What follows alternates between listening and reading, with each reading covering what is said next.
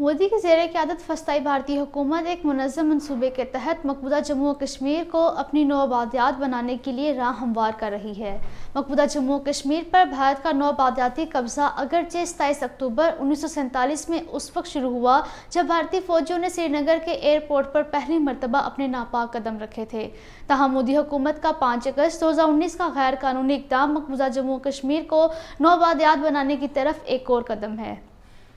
Article 370 की मनसूखी के बाद गुजशत तीन बरसों में भारत ने मकूदा जम्मू कश्मीर में तकरीबन 220 नए नाम नहाद कवानी नाफिज और इंतजामी तब्दीलियाँ की हैं, जिनमें गैर कानूनी हिंदुओं को डोमिसाइल और ज़मीनों के मालकाना हकूक़ का इजरा, अलग पंडित और फौजी कॉलोनियों के क्याम से लेकर कश्मीरी मीशत को भारतीय कारोबारी कंपनियों और सरमाकारों के हवाले करना शामिल है।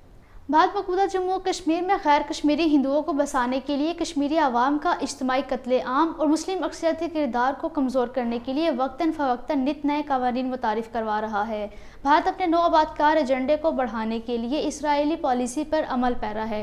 मकबूदा जम्मू कश्मीर में आर एस एस के हिमायत याफ्ता भारतीय हुकूमत के इस्तेमारी इकदाम अकवा मुतहदा की करारदादों की सरीहन खिलाफ वर्जी हैं, जिनका फौरी नोटिस लेना चाहिए। दरीसना पीडीपी सरबरा महबूबा मुफ्ती ने कहा है कि वोटर फहरिस्तों में गैर मकामी अफराद के इंदराज से मकबूदा जम्मू कश्मीर में नौ आबादियाती मनसूबे पर अमल दरामद शुरू हो चुका है भारतीय दारकूमत नई दिल्ली में इंसानी हकूक़ और शहरी आज़ादियों के हवाले से दो रोज़ा कॉन्फ्रेंस से इंसानी हकूक़ के मरूफ कारकुनों, सियासी तजियाकारों, सहाफ़ियों और ज़िंदगी के दीगर शोबों से ताल्लुक़ रखने के अलावा कुल जमाती हरत कॉन्फ्रेंस के रहनुमा मीर शाहिद सलीम ने अपने खिताब में कहा है कि बीजेपी हुकूमत ने मकबूदा जम्मू कश्मीर को एक ऐसी कॉलोनी में तब्दील किया है जहाँ लोगों के बुनियादी इंसानी हकूक़ और जमहूरी हकूक़ रोज़ पामाल किए जा रहे हैं। तहरीक कश्मीर यूरोप के रहनुमाओं ने शहीद अल्ताफ़ शाह को खराज कीदत पेश करते हुए कहा है कि भारत का जुल्म भी उन्हें झुका नहीं सका। बरतानिया में मुकीम तारकिन वतन कश्मीरी और पाकिस्तानी कल अल्ताफ़ अहमद शाह के हिरासती कत्ल के खिलाफ बर्मिंगम में नमाज़ जुम्मा के बाद